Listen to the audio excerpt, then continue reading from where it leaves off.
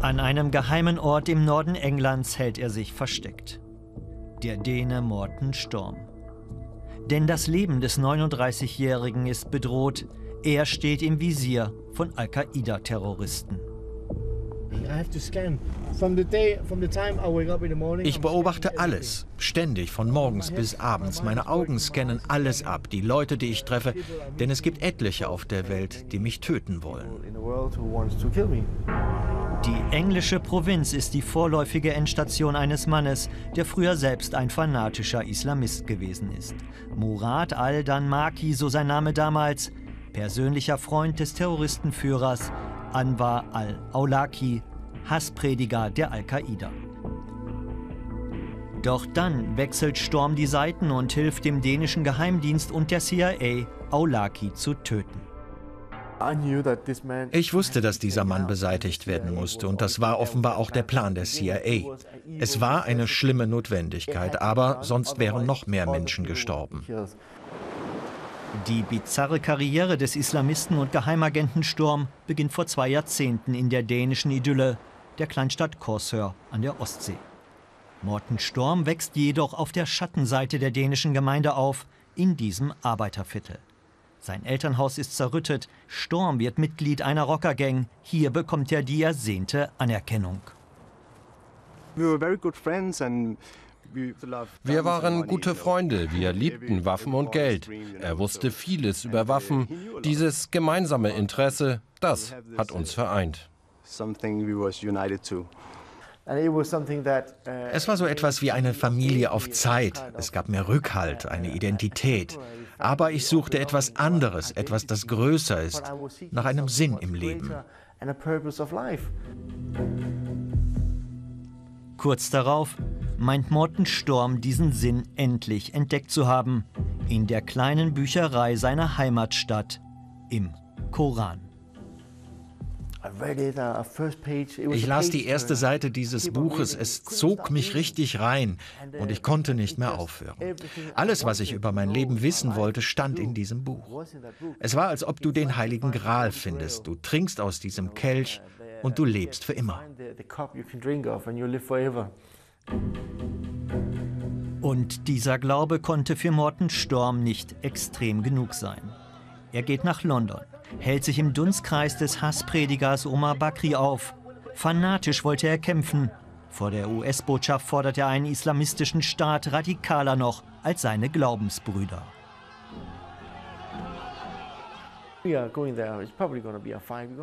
Ich dachte, wir gehen in die Botschaft und schlagen alles kurz und klein. Das ist Dschihad. Aber ich musste plötzlich feststellen, dass Omar Bakri und seine Leute nur hohle Phrasen gedroschen haben.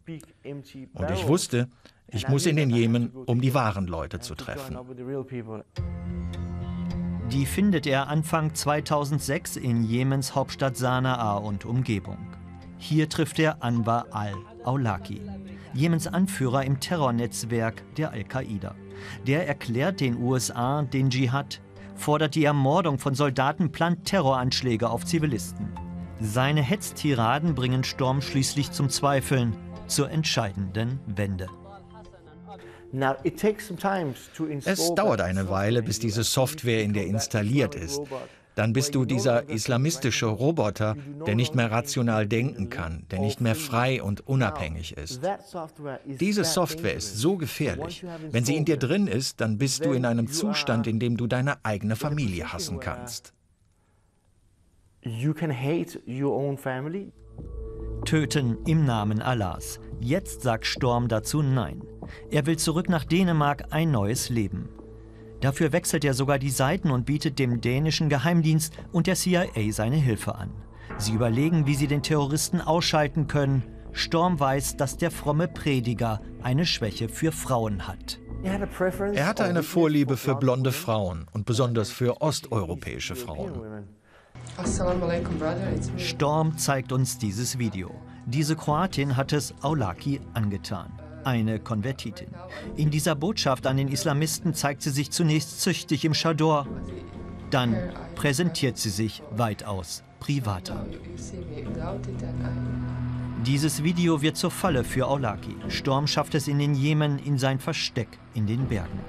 Ein Minisender führt die CIA schließlich zum Ziel. Am 30. September 2011 tötet eine US-Drohne den Terroristen. Den Erfolg aber reklamiert die CIA allein für sich und der dänische Geheimdienst beendet die Zusammenarbeit mit Morten Storm. Kein Kommentar zu Storm, auch uns wird ein Interview verweigert. Der Ex-Islamist, der Ex-Agent, er steht seitdem alleine da. Er hat ein Buch geschrieben, auch aus Selbstschutz. Ich habe in dieser Zeit brisante Informationen gesammelt, die viel Schaden anrichten können, sowohl in der dänischen Regierung als auch weltweit. Und deshalb glaube ich, gibt es einige, die mich ausschalten wollen. Meine einzige Verteidigung ist es deshalb, an die Öffentlichkeit zu gehen. Die Reaktion der Islamisten ist jedenfalls schon eingetroffen. Sie haben ihm ein Video geschickt, aufgenommen offenbar in Syrien, an einer Wand sein Foto mit anderen dänischen Persönlichkeiten. Die Botschaft eindeutig.